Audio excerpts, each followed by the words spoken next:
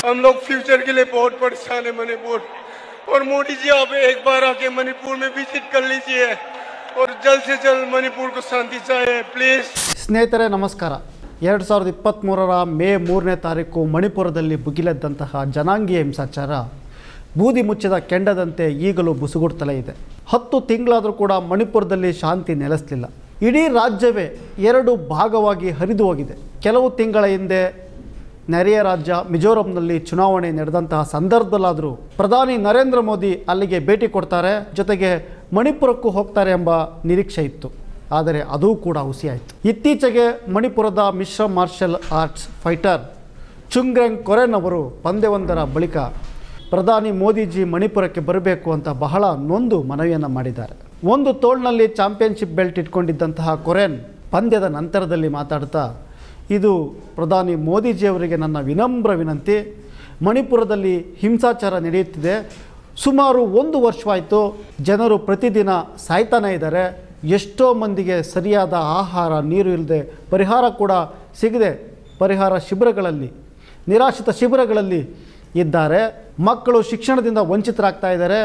ಮೋದಿಜಿ, ಒಮ್ಮೆ ಮಣಿಪುರಕ್ಕೆ ಭೇಟಿ ನೀಡಿ ರಾಜ್ಯದಲ್ಲಿ ಶಾಂತಿ ನೆಲೆಸುವಂತೆ ಏನಾದರೂ ಕ್ರಮವನ್ನು ಕೈಗೊಳ್ಳಿ ಅಂತ ಕೋರಿಕೆಯನ್ನು ಸಲ್ಲಿಸಿದ್ದಾರೆ this is my humble request Modi ji ये चुंगरेंग मेरे तरफ से मैसेज देना चाहता हूँ हिंसा हो रहा है मणिपुर में ऑलमोस्ट वन ईयर्स हो गया और हर दिन लोग मर रहा है और रिलीफ कैम्प में कितना लोग रहता है खाना पीना अच्छी से नहीं मिल रहा है और बच्चा लोग अच्छी से पढ़ाई नहीं कर रहा है हम लोग फ्यूचर के लिए बहुत परेशान है मणिपुर और मोदी जी आप एक बार आके मणिपुर में विजिट कर लीजिए और जल्द से जल्द मणिपुर को शांति चाहिए प्लीज ಇದು ಕೇವಲ ಒಬ್ಬ ಫೈಟರ್ನ ಮನವಿ ಅಂತೂ ಅಲ್ಲ ಪ್ರತಿ ಮಣಿಪುರ ಜನತೆಯ ಮನವಿಯೂ ಕೂಡ ಹೌದು ಇಸ್ರೇಲ್ಗೆ ಹೋಗಿ ಬರುವಂತಹ ಕನ್ನಡದ ಮಾಧ್ಯಮಗಳು ಮಣಿಪುರಕ್ಕೆ ಹೋಗಿ ಬರಲಿಲ್ಲ ರೈತರ ಹೋರಾಟದ ವರದಿಗೆ ಕೂಡ ಇವರು ಹೋಗೋದಿಲ್ಲ ಮಣಿಪುರದಲ್ಲಿ ಏನಾಗಿದೆ ಎಂಬುದನ್ನು ಬಿಚ್ಚಿಡುವಂತಹ ಪ್ರಯತ್ನವನ್ನು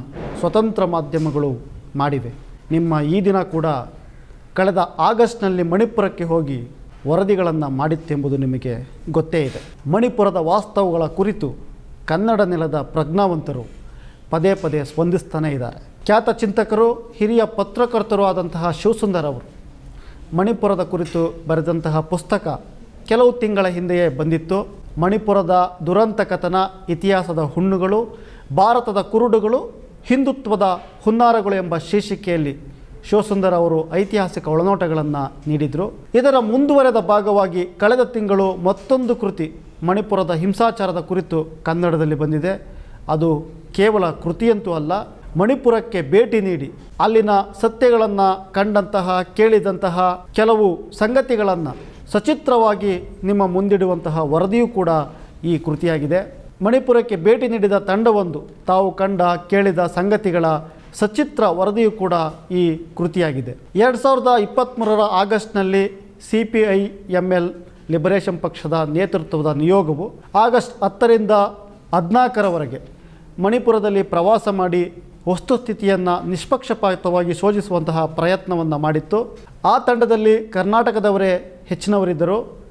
ಆ ತಂಡ ಬರೆದಿರುವಂತಹ ವರದಿ ಈಗ ದ್ವೇಷ ಬಿತ್ತನೆಯ ಫಲ ಜನಾಂಗೀಯ ವಿಭಜನೆ ಮತ್ತು ಘರ್ಷಣೆ ಎಂಬ ಶೀರ್ಷಿಕೆಯನ್ನು ಹೊದ್ದು ಪುಸ್ತಕವಾಗಿ ಹೊರಗೆ ಬಂದಿದೆ. ಮಣಿಪುರದ ಹಿಂಸೆ ಕುರಿತು ಕುಕಿ ಮತ್ತು ಮೈತೇಯಿ ಎರಡೂ ಸಮುದಾಯಗಳ ದೃಷ್ಟಿಕೋನಗಳನ್ನು ಪ್ರಾಮಾಣಿಕವಾಗಿ ಬಿಚ್ಚಿಡುವ ಪ್ರಯತ್ನವನ್ನು ಈ ಕೃತಿ ಮಾಡಿದೆ. ಈ ದಿನದ ಭಾಗವಾಗಿ ಮಣಿಪುರದಿಂದ ವರದಿ ಮಾಡಿದ್ದರಿಂದ ಈ ಕೃತಿಯನ್ನು ಓದುತ್ತಾ ಓದುತ್ತಾ ಮಣಿಪುರದಲ್ಲಿ ಕಂಡಂತಹ ದೃಶ್ಯಗಳು ಕಣ್ಣ ಮುಂದೆ ಸುಳಿದು ಹೋದವು.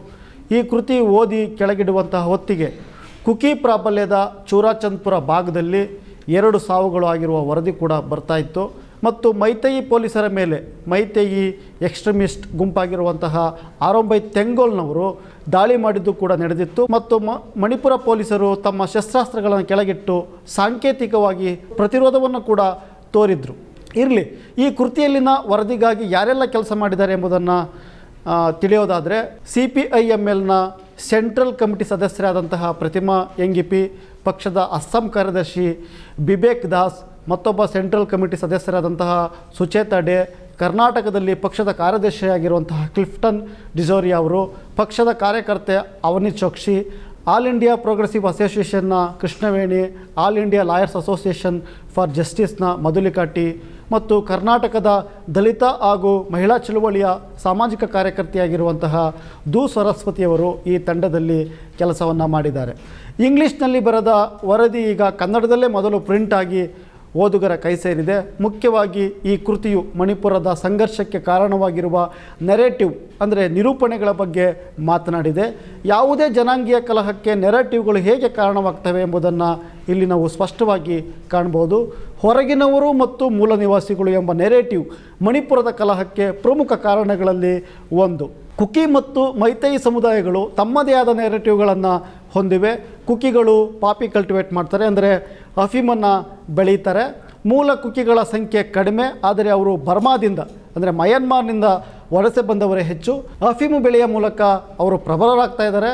ಅವರು ಮೂಲ ನಿವಾಸಿಗಳಲ್ಲ. ಅವರಿಗೆ ಮಣಿಪುರದಲ್ಲಿ ಇತಿಹಾಸ ಇಲ್ಲ ಎಂಬುದು ಮೈತೈಗಳ ಪ್ರಮುಖ ನೆರೇಟಿವ್ ಅಫೀಮು ಉದ್ಯಮದಲ್ಲಿ ಕೇವಲ ಕುಕಿಗಳಷ್ಟೇ ಇಲ್ಲ, ಅದು ಕೂಡ ವಾಸ್ತವ.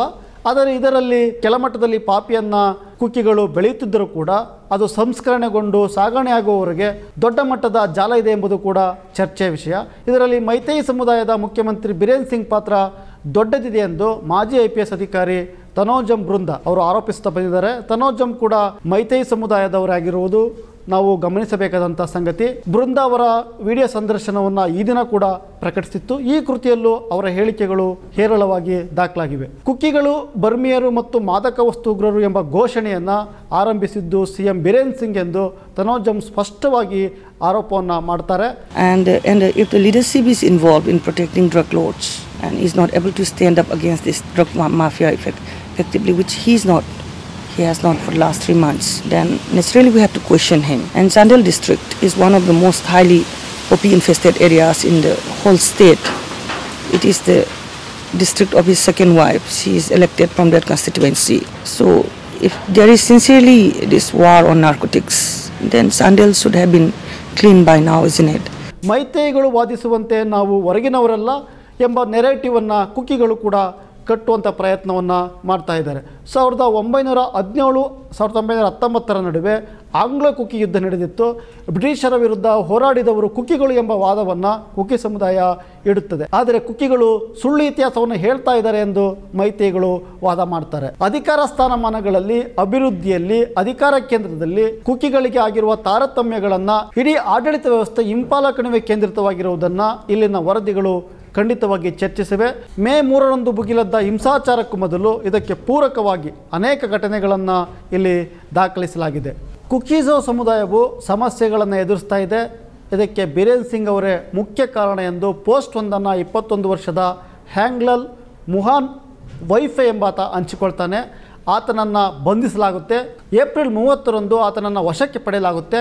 ಮೇ ಮೂರರಂದು ಆತ ಜಾಮೀನನ್ನು ಪಡೆದು ಹೊರಗೆ ಬರುವಂಥ ಸಂದರ್ಭದಲ್ಲಿ ಸಾಮಾಜಿಕ ಜಾಲತಾಣದ ಇಂಥದ್ದೇ ಮತ್ತೊಂದು ಪೋಸ್ಟ್ ಹಾಕಲಾಗಿದೆ ಎಂದು ಬಂಧಿಸಲಾಗುತ್ತೆ.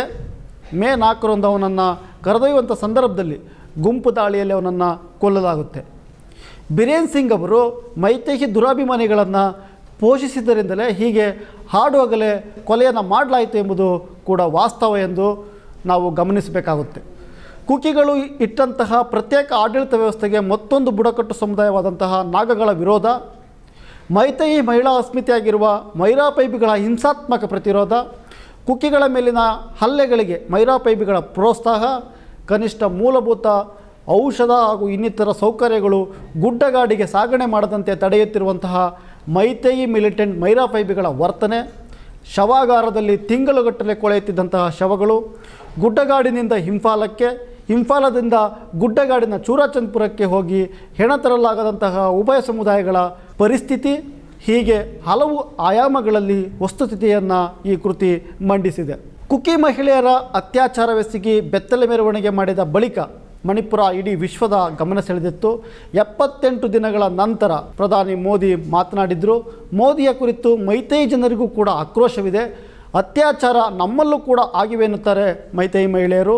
ಆದರೆ ನಾವು ಮಾನಕ್ಕೆ ಅಂಜುವವರು ಅತ್ಯಾಚಾರ ಆಗಿದೆ ಎಂದು ಎಲ್ಲಿಯೂ ಕೂಡ ಹೇಳಿಕೊಳ್ಳಲ್ಲ ಎಂಬುದು ಮೈರಾ ಪೈಬಿಗಳ ವಾದ. ಖಂಡಿತ ನಾವು ವರದಿಗೆ ಹೋದಾಗಲೂ ಕೂಡ ಇದೇ ಮಾತನ್ನು ಮೈರಾ ಪೈಬಿಗಳು ನಮಗೂ ಹೇಳಿದ್ದುಂಟು. ಮಣಿಪುರದಲ್ಲಿ ಮೈರಾ ಪೈಬಿಗಳಿಗೆ ದೊಡ್ಡ ಇತಿಹಾಸವಿದೆ. ಮೈರಾ ಪೈಬಿ ಎಂದರೆ ಪಂಜು ಹಿಡಿದ ಮಹಿಳೆಯರು ಎಂದರ್ಥ. ಬ್ರಿಟಿಷರ ವಿರುದ್ಧ ಮಹಿಳೆಯರೇ ಮುನ್ನಡೆಸಿದಂತಹ ನೂಪಿಲನ್ ಹೆಸರಿನ ಎರಡು ಕದನಗಳು ಇತಿಹಾಸ ಪುಟದಲ್ಲಿ ದಾಖಲಾಗಿವೆ. ಎಪ್ಪತ್ತರ ದಶಕದಲ್ಲಿ ನಿಶಾಬಂದಿ ಹೋರಾಟವನ್ನು ಮಣಿಪುರದ ಮಹಿಳೆಯರು ನಡೆಸಿದ್ರು. ಗಂಡಸರನ್ನು ಹಾಳುಗೆಡುತ್ತಿದ್ದಂತಹ ಮದ್ಯದ ಅಂಗಡಿಗಳಿಗೆ ರಾತ್ರಿ ವೇಳೆ ಪಂಜನ ಹಿಡಿದು ಬೆಂಕಿ ಇಡುತ್ತಾ ಬಂದಂಥವರು ಈ ಮಹಿಳೆಯರು. ಹೀಗಾಗಿ ಇವರನ್ನು ಮೈರಾ ಪೈಬಿ ಅಥವಾ ಪಂಜನ ಹಿಡಿದ ಮಹಿಳೆಯರು ಎಂದು ಕೂಡ ಕರೆಯಲಾಯಿತು. ಇದೊಂದು ಸಾಂಸ್ಕೃತಿಕ ಚಳುವಳಿಯಾಗಿ ಮಣಿಪುರದಲ್ಲಿ ಬೆಳೆಯುತ್ತಾ ಬಂದಿತ್ತು. ಈಗಲೂ ರಾತ್ರಿ ವೇಳೆ ಇಂಪಾಲ ಭಾಗದಲ್ಲಿ ಪಂಜನ್ನು ಹಿಡಿದ ಮಹಿಳೆಯರು ಕಾಣಸಿಗುತ್ತಾರೆ. ಎರಡು ಸಾವಿರದ ನಾಲ್ಕರಲ್ಲಿ ಅಸ್ಸಾಂ ರೈಫಲ್ಸ್ನವರು ತಂಜಮ್ ಮನೋರಮಾ ಅವರನ್ನು ಭೀಕರವಾಗಿ ಅತ್ಯಾಚಾರಗೈದು ಕೊಲೆ ಮಾಡಿದಾಗ ಸೇನೆ ವಿರುದ್ಧ ಸಿಡಿದೆದ್ದು ಇಂಡಿಯನ್ ಆರ್ಮಿ ರೇಫಾಸ್ ಎಂದು ಬ್ಯಾನರನ್ನು ಹಿಡಿದು ಬೆತ್ತಲೆ ಹೋರಾಟ ಮಾಡಿದ ಇತಿಹಾಸ ಈ ಮೈರಾ ಪೈಬಿಗಳಿಗೆ ಇದೆ.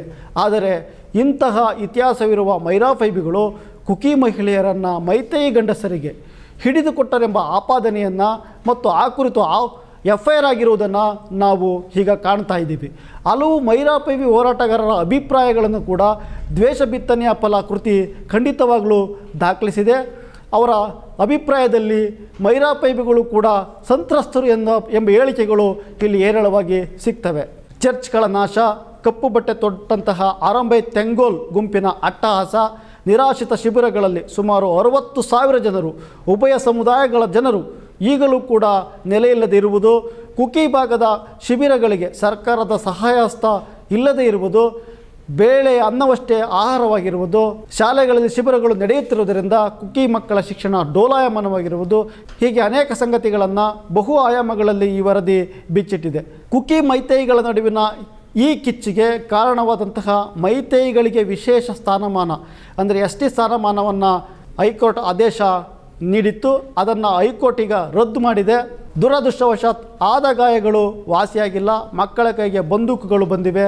ಹದಿಹರೆಯದವರು ಬಂದೂಕನ್ನು ಹಿಡಿದಾಗ ಅಕ್ಷರಕ್ಕಿಂತ ಮದ್ದುಗುಂಡುಗಳೇ ಅಪೇಯಮಾನವಾಗ್ತವೆ ಈವರೆಗೆ ನೂರ ಎಪ್ಪತ್ತೈದಕ್ಕೂ ಹೆಚ್ಚು ಜನರು ಸಾವಿಗೀಡಾಗಿದ್ದಾರೆ. ಈಗಲಾದರೂ ಮಣಿಪುರಕ್ಕೆ ಮೋದಿ ಹೋಗಿ ಬರಲಿ ಎಂಬುದು ನಮ್ಮೆಲ್ಲರ ಆಶಯ. ಆಗಿರುವ ಗಾಯಗಳನ್ನು ಮರೆಯದಿರೋಣ. All India lawyers association for justice ಪ್ರಕಟಿಸಿರುವಂತಹ ದ್ವೇಷ ಬಿತ್ತನೆಯ ಫಲಾಕೃತಿ ನಮ್ಮ ಮರವಿಗೆ ಕನ್ನಡಿಯನ್ನು ಹಿಡಿಯಲಿ. ನಮಸ್ಕಾರ. ಮತ್ತಷ್ಟು ವಿಶೇಷ ವಿಡಿಯೋಗಳನ್ನು ನೋಡಲು ಮತ್ತು ಹೊಸ ವಿಡಿಯೋಗಳ ಬಗ್ಗೆ ತಿಳಿಯಲು ಈ ದಿನ dot com YouTube channel subscribe ಮಾಡಿ ಮತ್ತು ಬೆಲ್ ಐಕಾನ್ ಕ್ಲಿಕ್ ಮಾಡಿ.